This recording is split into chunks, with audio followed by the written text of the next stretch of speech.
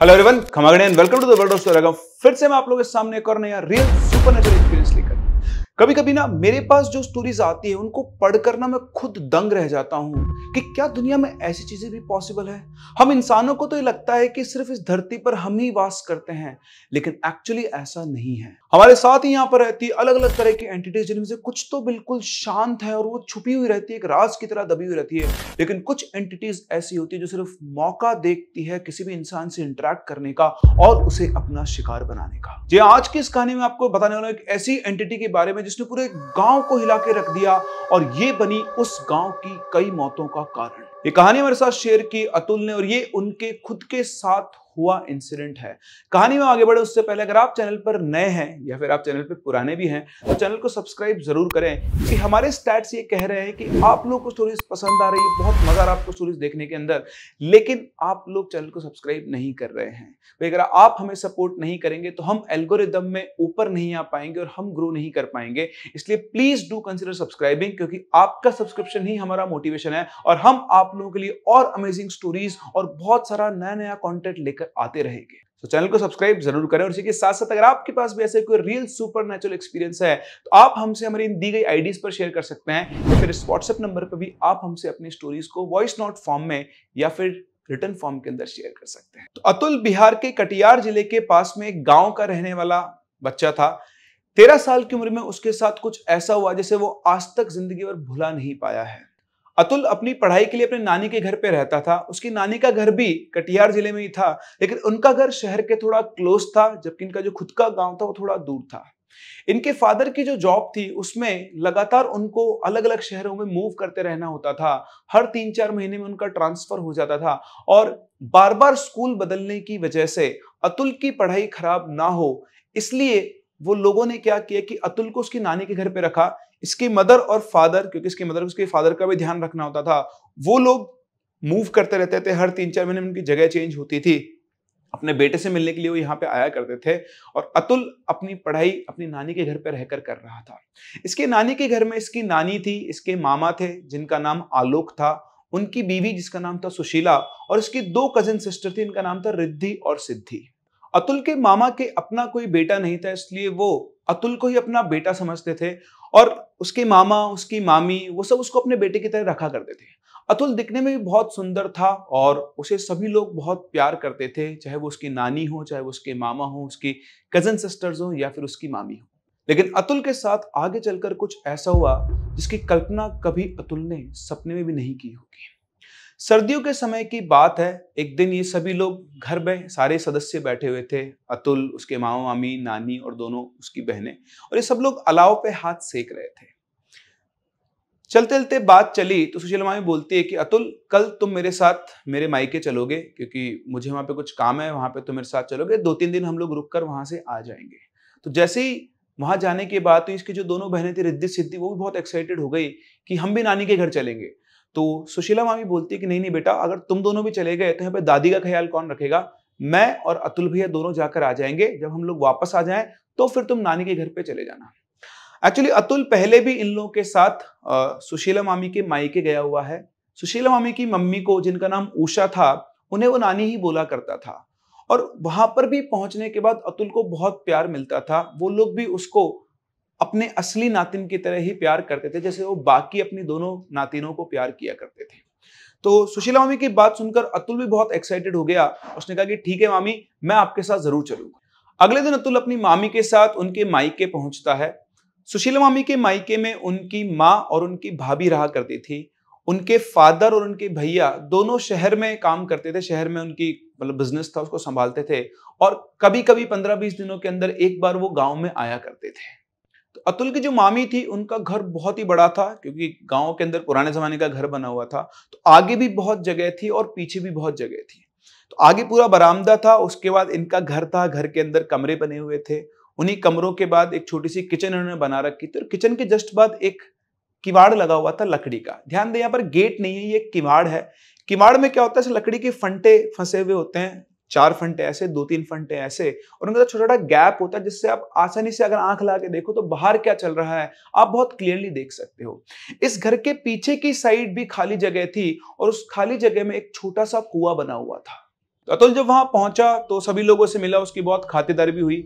अभी एक दो दिन उसको गुजरे थे तो अतुल दिन भर वहाँ पर खेलता था, सर्दियों का समय था, आप समझते हैं गाँव के अंदर बहुत जल्दी लोग सो जाते हैं तो जल्दी से खाना वाना खिला पिलाकर उसको सुला दिया जाता था।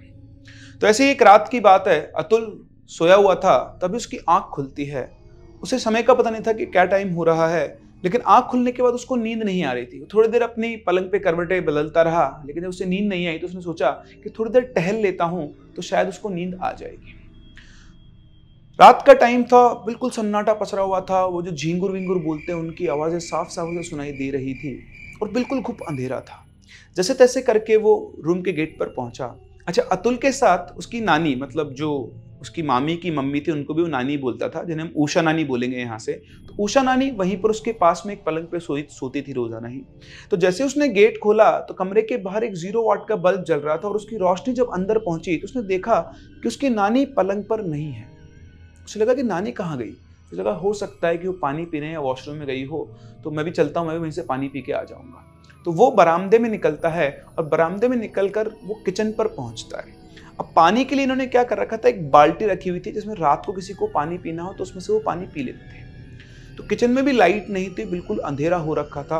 वो जैसे तैसे पहुँचता है पानी की बाल्टी के पास और लोटा ढूंढना शुरू करता है, उसे लोटा नहीं मिलता है। उसे लोटा मिलता है और पानी की बाल्टी में जैसे वो लोटा डालता है, टन से बाल्टी की आवाज़ आती है। मतलब बाल्टी में पानी नहीं था, बाल्टी खाली थी। उसे लगा कि अब रात के टाइम पर किसी को क्या ही जगह पानी के लिए। वो उसको रखकर लोटे को वापस और घूमने वाला होता है, तभी उसे दिखता है कि वो जो किवाड़ था लकड़ी का, उसके पीछे से एक अलग सी रोशनी सी आ रही है, जैसे किसी ने अलाव जला रखा। उसे लगा शायद नानी उस तरफ़ बैठी होगी, वो किवाड़ के पास है किवाड़ के अंदर झांकता है। अब जैसे ही वो झांकता है, उसे लगता है कि कोई अजीब सी आकृति उस तरफ़ से उसको झाँक रही है। उसको देखते ही तो पीछे होता है लड़खड़ा कर गिरने वाला होता है। कि तभी उसे आकर उसकी नानी संभाल लेती है और उससे पूछती है, अरे, अतुल, बेटा तुम यहाँ पर क्या कर रहे हो? उन्हें देखकर वो उनसे लिपट जाता है और रोने लगता बोलता है कि वहाँ पर कोई है। उसकी नानी उसे बड़े प्यार से शांत करवाती है और उसे विश्वास दिलाने के लिए कि कुछ भी नहीं है, वो उस गेट को खोलती है और उसे दिखाती है कि देख, कुछ भी तो नहीं है, कहाँ है आग? बाहर बिल्कुल अंधेरा था, बिल्कुल सन्नाटा पसरा हुआ था और वही रात को सिर्फ़ झींगरों की आवाज़ आ रही थी, उससे ज़्यादा कुछ भी नहीं था। अतुल को भी लगा कि शायद ही उसका वहम था। उसके बाद उसकी नानी उसे अपने साथ ले जाती है, उसे सुलाती है और उसी के बगल में वो भी लेट जाती है। एक दो दिन सब कुछ ठीक रहा और फिर आई अगली रात। वो रात जिसमें अतुल ने कुछ ऐसा देखा, जिसने उस तेरह साल के बच्चे की ज़िंदगी को हिला कर रख दिया। उसने वो मंजर देखा जिसके बारे में वो कभी सोच भी नहीं सकता उस दिन की तरह अतुल को आज भी नींद नहीं आ रही थी। वो इधर उधर करवटे बदल रहा था, तभी उसे किसी के गुर्राने की आवाज़ आती कुछ इस तरह से। वही गुर्राने की आवाज़ सुनकर वो एकदम से उठता है और अपने बेड पर बैठ जाता है और इधर उधर देखने लगता है कि आखिर गुर्राने की आवाज़ कहाँ से आ रही है और उसे वहाँ पर कोई भी दिखाई नहीं देता है। उसे गुर्राने की आवाज़ अब भी आ रही थी और वो अपने नानी के बेड की तरफ़ देखता तो चौंक जाता है कि नानी अपने बेड पर सोई हुई नहीं थी। उसे लगता है कि हो सकता है नानी फ्रेश होने या फिर वॉशरूम लिए या पानी पीने के लिए बाहर गई हो उसे डर लगा कि कुत्ता वगैरह नानी को काट ना ले तो वो भी अपने कमरे से बाहर निकलता है। और निकलते निकलते वो एक झाड़ू उठा लेता है कि अगर कोई कुत्ता वगैरह हुआ तो उसको डरा कर वो झाड़ू से भगा पाएगा। उसे ये भी लगा कि कहीं वो अकेला ना पड़ जाए, मामी को भी साथ में ले लेता हूँ। तो अगले कमरे में गया और खिड़की से अंदर झांका तो उसने देखा कि मामी भी अपने पलंग पर नहीं थी। मामी और नानी दोनों ही अपने बेड से गायब सोचा कि कहीं मामी और नानी दोनों ही फ्रेश होने तो नहीं गई है, क्योंकि घर में वॉशरूम नहीं था। और फ्रेश होने के लिए उन्हें बाहर ही जाना पड़ता था। और उसे लगा कि कहीं उन दोनों के ऊपर ही वो जानवर हमला ना कर दे, क्योंकि रुक रुक कर उसको बार बार उस कोई जो भी चीज़ थी उसको गुर्राने की आवाज़ आ रही थी। वो थोड़ा सा और आगे बढ़ता है और वो उस चूल्हे वाले सेक्शन में पहुँचता है मतलब रूम से क्रॉस करके तो उसकी नज़र पड़ती है। आज भी उस किवाड़ के पीछे से वैसी रोशनी आ रही थी, जैसे उस तरफ़ कोई अलाव जलाकर बैठा हो। वो बिल्कुल दबे पाँव उस किवाड़ के पास जाता है और उसकी दरार में से उस तरफ़ देखता है। लेकिन इस बार जो वो देखता है, उसे देखकर उसके पूरे शरीर में करंट दौड़ जाता है। भरी सर्दी के अंदर उसको पसीना आना शुरू हो जाता है। वो देखता है कि वहाँ पर एक हवन जल रहा है और हवन के दोनों तरफ़ उसकी मामी और उसकी नानी अर्धनग्न अवस्था के अंदर बैठे हुए हैं और पागलों की तरह से हिलते हिलते कुछ मंत्र जाप कर रहे हैं। उसकी नज़र सबसे पहले उसकी नानी पर पड़ती है उषा नानी के ऊपर। वो देखने में बिल्कुल एक डायन की तरह लग रही थी। उसका, उसके बाल खुले हुए थे, उसके चेहरे पे इतनी मोटी काली बिंदी थी और उसने कुछ ऐसा सिंदूर सा पूरे मुँह के ऊपर लगा रखा था और वो लगातार मंत्र पड़े जा रही थी। उसके बाद उसकी नज़र अपनी मामी के ऊपर पड़ती है तो उनके बाल भी पूरी तरह से खुले हुए थे। उन्होंने अपनी आँखें बंद की हुई थी, वो ध्यान के अंदर थी और ऐसे हिले जा रही थी और साथ साथ कुछ ना कुछ मंत्र बोले जा रहे थे। उन दोनों को देखकर उसको बुरी तरह डर लग रहा था। तभी उसकी नज़र उसकी मामी के पास में खड़े एक जानवर के ऊपर पड़ती है। वो जानवर नहीं था, वो कोई एक अलग सी ही चीज़ थी।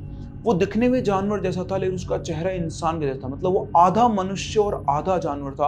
उसके पूरे शरीर के ऊपर काले काले बाल थे, लेकिन उसकी जो नाक थी, वो एक इंसान की तरह थी, लेकिन वो बहुत लंबी नाक थी। वो जब गुर्रा रहा था तो गुर्राने के बाद उसी जानवर से आ रही थी और उस टाइम उसके बड़े बड़े दांत अतुल को दिखाई दे रहे थे। उसका शरीर बिल्कुल एक भालू की तरह था और लगातार ऐसे ऐसे करके कुछ खाया जा रहा था, जैसे किसी जानवर के पड़े हुए मांस को वो खींच खींच कर खा रहा हो। वो कुछ और सोच पाता, तभी उसकी नज़र उसकी नानी के पास में लेटे हुए एक बच्चे के ऊपर पड़ती है। एक बच्चा वहाँ पर लेटा हुआ था, जिसके पूरे शरीर के ऊपर उन्हें राख लगाई हुई थी। उसके माथे के ऊपर सिंदूर लगा हुआ था और उसको एक माला पहनाई हुई थी और वो बच्चा बेहोश पड़ा हुआ था। वो कुछ समझ पाता, तभी उसकी मामी वहाँ से उठती है और एक गंडासा अपने हाथ में लेती है। उसके ऊपर सिंदूर लगाती है, उस बच्चे के पास जाती है और एक बार में उस बच्चे का सर धड़ सा लग कर देती है। सब देखते हैं तुल के मुझे चीख निकल आती है, अपने मुख भी बंद कर लेता है और उसी टाइम पर उसका टॉयलेट अपनी पैंट में निकल जाता है। पूरा शरीर धड़ धड़ धड़ काँप रहा था। उसने क्या देख लिया तो भागता है वहाँ से दबे पाँव और सीधा जाकर अपनी रजाई के अंदर जाकर सो जाता है। वो रजाई में अपना मुँह डालकर पड़ा रहता है और बस पूरी तरह से कांपता रहता है। उसे लगता है कहीं उसे कोई देख ना ले। वो इंतज़ार करता है कि उसकी मामी और नानी आएँगे। उसके करीबन एक डेढ़ घंटे के बाद उसकी नानी कमरे उसको कमरे के अंदर किसी के आने की आहार सुनाई देती है। वो बुरी तरह घबराता है और आँख बंद करके लेट जाता है। उसे पता नहीं कब नींद आती है। सुबह जब उठता है तो उसे बहुत तेज बुखार था। उसे इतने तेज बुखार था कि वो अपनी आँख भी नहीं खोल पा रहा था और बस मम्मी मम्मी मम्मी मम्मी रो रहा था। उसकी हालत देखकर उसकी मामी और नानी उसको हॉस्पिटल लेकर जाते हैं डॉक्टर के पास। वहाँ डॉक्टर उसको इंजेक्शन वगैरह लगाता है और उसको आराम करने को बोलते हैं। करीबन एक घंटे के बाद जब उसका फीवर थोड़ा डाउन होता है तो उसकी आँख खुलती है। जब उसकी आँख खुलती है तो उसके सामने वही उषा नानी बैठी हुई थी और उसको देखकर मुस्कुराती है। उनको देखते ही वो घबरा जाता है और वो मुस्कुराती कुछ इस तरह से कि अतुल को लगता है कि शायद उन दोनों को ये पता है कि वो रात को जो कर रहे थे, वो करते हुए अतुल ने उनको देख लिया है। उसके पास आते उसे प्यार से सहलाती और पूछती बेटा, क्या हुआ? इतना तेज बुखार क्यों आ गया? थोड़ी देर उनसे बातचीत करने के बाद अतुल ये समझ जाता है कि उसकी नानी और मामी ने अतुल को नहीं देखा है। वो बस रोने लग जाता है और बोलता है कि, मुझे बहुत डर लग रहा है, मेरे को बहुत तेज़ बुखार आ रहा है। मतलब वो एक्टिंग करना शुरू करता है कि उसे कुछ भी नहीं पता पता नहीं क्यों उसको फीवर आ गया है। अच्छा उसके फीवर की बात इसके मामा और नानी को बता दिया गया था। तो ये लोग डॉक्टर से बात करके उसको घर लेकर जाते हैं और जब तक ये लोग घर पहुँचते हैं, तब तक उसके आलोक मामा और उसकी रियल नानी वहाँ पर पहुँच चुके थे। अपनी नानी को देखते हुए भाग कर अपनी नानी से लिपट जाता है और रोते हुए अपनी नानी से बोलता है, नानी, मेरे को घर ले चलो, मेरे को यहाँ पर अच्छा लग रहा, मेरे को घर ले चलो। अतुल की हालत देख उसकी नानी थोड़ा संकोच में आ जाती थोड़ा शक में आती कि ऐसा क्या हो गया। उन्हें लग रहा था कहीं इसने कुछ, कोई डरावनी चीज़ तो देख ली, कोई भूत वूत तो नहीं देख लिया है। वही सब सोचकर तुल को समझा रही थी कि तभी पूरे गाँव में हल्ला मच गया कि गाँव से एक बच्चा गायब हो गया बच्चा गायब हुआ है। दो तीन लोग भागते हुए इनके घर की तरफ़ है और आकर बोलते गाँव से बच्चा गायब हो गया है। उसके बाद सुनते ही वो जो उषा नानी थी, वो उसकी सुशीला मामी की तरफ़ देखकर बोलती क्या? गाँव से फिर से बच्चा गायब हो गया है? पता नहीं कौन घुसा है इस गाँव के अंदर कि लगातार गाँव से बच्चे गायब हो रहे हैं। उन दोनों को देखकर अतुल घबरा गया और वो अपनी नानी को उसने और कस के पकड़ लिया। यहाँ अतुल की नानी से बोलती बच्चा गायब हो गया? बोलती हाँ पता नहीं हमारे गाँव से हर अमावस की रात को एक बच्चा गायब हो रहा है। पता नहीं कौन है घुसा है इस गाँव के अंदर। उनको देखकर अतुल ने आँख बंद की तो उसे वापस से वही रात का सीन दिखाया जिसमें उन बच्चे को उन्होंने काटा था। वो और तेज अपनी नानी को पकड़ लेता है और बोलता है कि, नानी, मुझे घर ले चलो। उसकी नानी बोलती बेटा, तू परेशान मत हो, कोई बात नहीं। उनको ऐसा लग रहा था कि अतुल को डर लग रहा है, वो जो बच्चे ले गायब बात आई उससे। उन्होंने उसको थोड़ा शांत किया और फिर लोग घर के अंदर जाकर बैठे। एक्चुअली वो उसी दिन अपने घर के लिए निकल जाते, लेकिन शाम हो चुकी थी तो उन लोगों ने डिसाइड किया और उनकी जो जो मामी की जो मम्मी थी, उन्होंने कहा कि भाई आप लोग आए हो, उनके जवाई जी आए थे, बोले आज आज तो रुक के जाओ। तो उन्होंने प्लान बनाया कि आज वो रुकेंगे और कल यहाँ से वो जाएँगे। तो रात को खाना वाना खा के, अतुल की रियल नानी जो थी, वो अतुल के साथ ही लेटी हुई थी। तब उन्होंने अतुल से पूछा कि बेटा क्या हो गया तुझे एकदम से? उस टाइम और कोई नहीं था कमरे के अंदर। उसने अपनी नानी को सारी बात बताई कि कैसे कल उसने अपनी मामी और उसकी मम्मी दोनों को इस हालत में देखा और किस तरह ने से उन्होंने उस बच्चे की बलि दी थी। अतुल की बात सुनकर उसकी नानी का जो बिहेवियर था वो बिल्कुल न्यूट्रल था जैसे उनके लिए कोई बहुत बड़ी बात नहीं उन्होंने सब पहले से ही पता था। उन्होंने अतुल से कहा तू पागल है, तूने कोई सपना देखा होगा, तेरा वहम है। ऐसा कुछ भी नहीं है, ऐसा कुछ भी नहीं हो सकता। वैसे कोई नॉर्मल पूजा वगैरह कर रहे होंगे, तेरा दिमाग ज़्यादा तेज चल रहा है या फिर तू चीज़ों को वैसे ही सोच रहा है, बेटा? ऐसा कुछ नहीं है। उसके बाद वो अतुल को सुला देती है और उसको सुलाने के बाद उसकी नानी रात में उठती है। वो देखती है तो घर में बिल्कुल सन्नाटा पसरा हुआ था। दबे पाँव पूरे घर के अंदर चेक करना शुरू करती है एक्चुअली अतुल छोटा बच्चा था। उसने जो भी कहा, वो उन्होंने समझ तो लिया था, लेकिन अतुल के सामने रिएक्ट नहीं किया। पूरा घर उन्होंने देखा। उसके बाद वो निकलकर पीछे वाले हिस्से में गई। जहाँ पर घर पे वो कुआँ था और जहाँ पर अतुल ने उन दोनों को देखा था। अतुल की जो रियल नानी थी, उनको थोड़ा बहुत तंत्र मंत्र का ज्ञान था और कहीं पर अगर थोड़ी बहुत भी नेगेटिविटी होती थी तो वो उसको सेंस कर लेती थी। और जैसे वो उधर पीछे पहुँची, वहाँ का एनवायरमेंट उनको थोड़ा अलग सा लग रहा था। पीछे इधर उधर चेक करने के बाद वो कुआँ उन्हें दिखता है और कुएँ के पास अगर कुएँ में झाँक रही होती है। तो ऐसा लगता है कि कुएँ में से कुछ आवाज़ आ रही थी कुएँ में से कोई चीज़ निकल कर बाहर आ रही हो। वो देख रही थी कि तभी उनके पीछे कंधे पर एक हाथ आता है। वो हाथ को देखते पीछे पीछे घूमती है तो देखती कि कोई और नहीं, उनकी बहू सुशीला ही थी। सुशीला उनसे पूछती कि, आप यहाँ पर क्या कर रही तो उन्होंने बताया कि उन्हें प्यास लगी थी तो वो पानी पीने यहाँ पर आई थी। तो उन्होंने बोला कि, पानी तो मैंने अंदर रखा हुआ है। माँ जी, रात के टाइम पर आप यहाँ पर मत आया कीजिए। कोई भी कीड़ा काटा काट लेगा, जहरीले कीड़े हैं यहाँ पर, पता भी नहीं चलेगा। चलिए, मैं आपको पानी देती हूँ। और इतना बोलकर वो उन्हें अंदर लेकर जाने लगती है।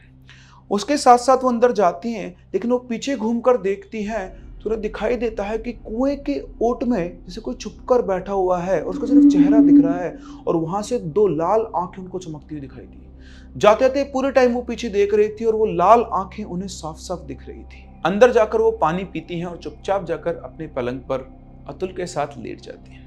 सुबह वो उठते हैं और जब उनके जाने का समय होता है तो जो अतुल की रियल नानी बोलती है कि काम करते हैं अब बार बार तो आना होता नहीं है तो क्यों ना हम भी एक दो दिन यहाँ पर रुक जाते हैं, उसके बाद ही चलेंगे। तो इधर जो सुशीला थी, उसकी मदर थी उषा वो बोलती कि हाँ हाँ आप तो वैसे भी कभी कभी आते हो और दो तीन दिन के बाद तो आप एक काम करना ना, सुशीला को साथ में लेके चले जाना, आप लोग भी रुक जाओ और बहुत टाइम हो गया आप लोगों को साथ टाइम गुजारे हुए। तो उन्होंने ऐसी बातचीत होती है तो अतुल बोलता है कि, ठीक है, आप लोग रुक जाओ, मैं जा रहा हूँ तो जब आप लोगों का आने का मन हो, मुझे बता देना, मैं वापस आप लोगों को लेने आ जाऊँ अब जो अतुल की रियल लानी थी, वो किसी चीज़ को सेंस करके वहाँ पर रुकी थी। दिन में जब सब लोगों ने खाना खा पी लिया मतलब थोड़ा शाम का टाइम हो गया, चार पाँच बजे का तो वो घूमने के बहाने से टहलते टहलते पीछे पहुँचती है और पीछे पहुँच चीज़ों को वापस से एनालाइज करना शुरू करती है। वो ये ऑब्ज़र्व करती है कि घर के फ्रंट साइड और घर के बैक साइड के एनवायरनमेंट में बहुत बड़ा डिफरेंस था, जहाँ घर के बाहर बहुत चहल पहल थी। घर के पीछे का हिस्सा बिल्कुल शांतमा एक अलग सी शांति थी और एक अलग सी ही नेगेटिविटी वहाँ पर फैली हुई थी। जैसे किसी ने एक क्लोज लूप बना दिया हो, जिससे बाहर की कोई भी आवाज़ अंदर नहीं आ सकती है। वहाँ उन्हें कुछ ऐसा महसूस हो रहा था कि जैसे बहुत सारी आत्माएँ वहाँ पर कैद हैं और वो बाहर निकलने के लिए छटपटा रही है। वो सब सोच ही रही थी, तभी वहाँ पर जो उषा नानी थी उनकी बहू मतलब सुशीला के ब्रदर की वाइफ वहाँ पर आती है और आके बोलती अरे माँ जी, आप यहाँ पर क्या कर रही है? सब लोग तो बाहर हैं। तो बोलती, कुछ नहीं, थोड़ा मेरा शांति में बैठने का मन कर रहा था, इसलिए मैं इधर आ गई। अच्छा एक बात बताओ, तुम्हें इस जगह पर कुछ अजीब सा नहीं लगता है? ये सवाल सुनते ही उनकी जो बहुत ही उसके चेहरे का एक्सप्रेशन बदल जाता है उसे आगे पीछे देखती और बोलती है, माँ जी, डर तो बहुत लगता है, मेरी सांस और आपकी बहू सुशीला का व्यवहार देखकर। लेकिन क्या करूँ? मैं जब भी कुछ पूछती हूँ, वो दोनों मुझे चुप करा देती है। एक और बात बताऊँ आपको, यहाँ कोई अगल बगल का भी नहीं आता है। मैं तो दिन भर बैठी बैठी ऊब जाती हूँ, पर क्या करूँ? अब मेरे भाग में यही लिखा है, पति बाहर नौकरी कर रहा है, घर के अंदर जो सास है, वो मुझसे ज़्यादा बात, उसके बारे में समझ में नहीं आता क्या चल रहा है, और अड़ोस पड़ोस के लोग हमारे घर आना पसंद ही नहीं करते आप जल्दी वापस आ जाइएगा। इतना बोलकर वहाँ से निकल जाती है। उसकी बात सुनकर अतुल की नानी को भी ख्याल आता है कि हाँ यार, आज मुझे यहाँ आए दो तीन दिन हो गए हैं, लेकिन कोई भी अड़ोस पड़ोस की औरत या कोई भी आकर ये पूछ रहा है कि भाई तुम्हारे घर में कौन आया? अगर हमारे यहाँ पे घर में ऐसे मेहमान आए तो अड़ोस पड़ोस वाले लोग मिलने तक आ जाते हैं और बैठकर बातचीत करते हैं। और वाकई में गाँव में ऐसा ही माहौल होता है, किसी एक के घर में मेहमान आए तो अड़ोस पड़ोस वाले पूछते भाई, कौन आया है, क्या है, क्या नहीं है? सारी बातचीत होती है। और जानकार होते तो बैठकर घंटों आपस में बात भी कर लेते हैं। वो अंदर जाती है और जाकर फिर उसकी जो उषा नानी थी, उनसे बात करती बोलती कि, बहन जी, मुझे आए यहाँ दो तीन दिन हो गए, पर अड़ोस पड़ोस कोई आदमी अपने आया नहीं आज तक भी? तो बोलती कि अरे वो अड़ोसी पड़ोसी हमारे घर नहीं आते हैं। और हम तो चाहते भी नहीं कोई हमारे घर पर आए। वो हमारी तरक्की से जलते हैं और कहीं कोई आकर हमारे घर में कुछ उल्टा सीधा करा गया तो हमें तो लेने के देने पड़ जाएँगे। इतना कहकर अपनी बेटी को देखकर मुस्कुरा देती है। इसके बाद सब लोग रात में अपना खाना ना खा पी कर सो जाते हैं और जो अतुल की नानी थी, वो सिर्फ़ वहाँ सोने का नाटक कर रही थी। अच्छा मैं आपको यहाँ पे बता दूँ, अतुल जो था वो अपने आलोक मामा के साथ चला गया था तो उसकी नानी अकेली यहाँ पर रह रही थी। तो वो अपनी बहू के साथ उसके कमरे में सोती थी। और वो रात को सोने का सिर्फ़ नाटक कर रही थी, तभी उन्हें अपने कमरे के अंदर एक हलचल आहट सुनाई देती है। तो हल्का सा रजाई से मुँह निकाल कर देखती है तो उनकी बहू उठकर कमरे से बाहर जा रही थी। उसके निकलने के दो तीन मिनट के बाद वो भी दबे पाँव उसके पीछे पीछे जाती है और कमरे के गेट से बाहर निकल कर देखती है तो देखती है कि उनकी जो बहू थी वो घर का मेन गेट खोलकर खेतों की तरफ़ जा रही है। वो भी उठती है दूसरे कमरे में जाती है, देखती है तो उसकी मदर भी वहाँ पर नहीं थी। वो चुपचाप चुपचाप अपनी बहू का पीछा करती है। उनसे एक प्रॉपर डिस्टेंस मेंटेन करके छुपते छुपाते खेतों के अंदर पहुँचती है और जाकर देखती है कि उनकी जो बहू थी, वो वहाँ पर एक औरत से खेतों में मिल रही है। थोड़ा और ध्यान से देखने पर जो दिखाई देता है कि वो जो दूसरी औरत थी, वो कोई और नहीं, वो उसकी मदर ही थी। अब उन दोनों के बीच में क्या बात चल रही है? इसको दूर से सुन पाना बड़ा ही मुश्किल था। इसलिए हिम्मत करके दबे पाँव वो उनके जितना पास पहुँच सकती थी, उतना पास पहुँचने की कोशिश करती, इतनी दूर कि वो उनकी बातें सुन सके। वो सुनती है कि उनकी बहू कह रही है कि माँ जी को शक हो गया है, लगता है यहाँ से जाना पड़ेगा। तो उसकी माँ बोलती है, अभी कैसे जा सकती है? अभी बस एक प्रक्रिया और करनी है, उसके बाद फिर तो चले जाना। तो बोलती, पागल हो गई हो तुम? माँ जी यहीं पर है, उनको शक हो रखा है, उनके सामने हम ये प्रक्रिया कैसे करेंगे? तो बोलती कि मेरे पास इस चीज़ का एक इलाज है। बोलती है क्या? कल हम एक काम करेंगे, तेरी सास के खाने के अंदर नींद की गोलियाँ मिला देंगे, वो सो जाएगी और कल का ही मुहूर्त है, कल रात को हम लोग पूजा कर लेंगे। ये बोलकर वो दोनों कहीं और निकल जाती है खेत के अंदर मतलब किसी और रास्ते की तरफ़। उनकी बात उनको चुपचाप वापस से आती है और अपने कमरे के अंदर लेट जाती है। और वो इंतज़ार करती है कि कब ये दोनों वापस आएँगे। करीबन एक घंटे के बाद दोनों वापस आती हैं। आकर उनकी बहू अपने पलंग पर लेट जाती है और उसके सोने के करीबन आधे पौन घंटे के बाद ये वापस उठती है। उठकर वो अच्छे से चेक करती है कि उनकी बहू और उसकी माँ दोनों सोए हुए हैं और ये कंफर्म करने के बाद वापस से निकलकर पीछे चली जाती है उस कुएँ की तरफ़। वहाँ जैसे वो पहुँचती उन्हें बहुत ज़्यादा नेगेटिविटी फील हो रही थी और उन्हें कुएँ में से किसी के गुर्राने की आवाज़ आ रही थी। वो कुएँ के पास जाती है, तभी उनके कान में एक औरत की आवाज़ आती है, चली जा यहाँ से, चली जा। वो आवाज़ सुन के जैसे इधर उधर घूमती है, तभी उनका पैर किसी चीज़ पर टकरा कर फिसलता है और फिसलने से अपने आप को बचाने के लिए वो एक टहनी को पकड़ लेती है। और जैसे ही वो संभलती है, उन्हें फील होता है कि उन्होंने जिस चीज़ को पकड़ा हुआ है, वो टहनी नहीं है। जो भी चीज़ वहाँ पर उसके ने थोड़ा फील किया तो वहाँ पे ऐसे बाल जो सॉफ्ट थोड़ा हाथ जो होता है, उस तरह की सॉफ्टनेस उसके अंदर थी। बिल्कुल खूब अंधेरा था और उनमें इतनी हिम्मत नहीं थी घूम कर वो ये देख पाए कि उन्होंने क्या चीज़ पकड़ी हुई है। जिस मैंने आपको बताया, उनको चीज़ों का थोड़ा बहुत ज्ञान था। उन्होंने समझ लिया था कि अगर वो थोड़ा बहुत भी घबराई तो ये चीज़ उनके ऊपर हावी हो सकती है। उन्होंने हाथ छोड़ा, चुपचाप घूमी और सीधा वो अंदर चली गई। मन में माता रानी का नाम लेकर वो अंदर चली गई और जाकर सीधा अपने बेड पर लेट गई। अब अगले दिन, जैसा उन दोनों ने इनके लिए प्लानिंग की थी, इन्होंने भी इनकी बहू के साथ मिलकर सारी प्लानिंग कर ली थी। उन्होंने उसको समझा दिया था कि सुन रात को जब तेरी सास मुझे खाना देगी तो तू मौका देखकर उस खाने की थाली को पलट देना। मतलब मेरी खाने की थाली तू लेना और तेरी खाने की थाली मेरे को दे देना। लेकिन ध्यान रखना, उन दोनों को पता ना चले। और ऐसा ही हुआ, उसकी सास ने अपनी बहू को बुलाकर खाना रखने को कहा उनको। तो वो गई, उसकी सास ने पहले ही उनकी खाने यानी उसकी सब्ज़ी के अंदर नींद की दवाई मिला दी थी। लेकिन, जैसा कि पहले उन्होंने प्लान किया था, उनकी बहू गई, फिर वो अपनी थाली भी लेकर गई और उसकी नानी की थाली खुद लेकर उनको वो नई थाली उन्होंने दे दी। और इस तरह से इनकी जो बहू थी, उसने वो सब्ज़ी खाई जिसमें नींद की गोलियाँ थी। थोड़ी देर के बाद वो अपने कमरे में चली गई और अतुल की नानी ने एक्टिंग की। अरे, मेरा तो बहुत तेज सिर दुख रहा है, पता नहीं आज क्या हो गया, थकान बहुत ज़्यादा हो रही मैं सोने जा रही हूँ। उन, उन्होंने जब ये कहा तो दोनों माँ बेटी ने एक दूसरे को देख के मुस्कुराए और उसके बाद अतुल की नानी जाकर अपने बिस्तर पर लेट गई और सोने का नाटक करने लगी। थोड़ी देर बाद ही मतलब जब सब सो गए, उसके थोड़ी देर बाद इनकी बहू उठती है और उठकर अपनी सासू माँ को चेक करती है कि वो सोई है फिर नहीं सोई है।